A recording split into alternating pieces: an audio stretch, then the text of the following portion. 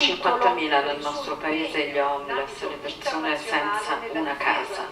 e questo è un fatto molto importante perché non solo c'è bisogno di pasti come fa lui, ma lui eh, attiva un processo di inclusione che vuol dire cercare di farli vivere e di coinvolgerli anche nella preparazione di questi pasti in modo da dargli anche una prospettiva, quindi un grandissimo lavoro di inclusione vera e propria. Grazie a Suore